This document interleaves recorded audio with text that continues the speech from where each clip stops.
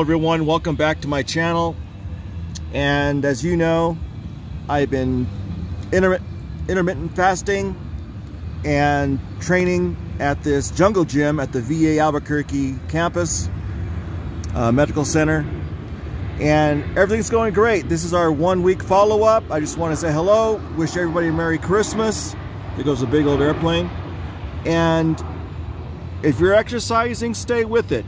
If you're having a hard time figure it out get support buddy up with someone but everything's going great um, I'm quite pleased.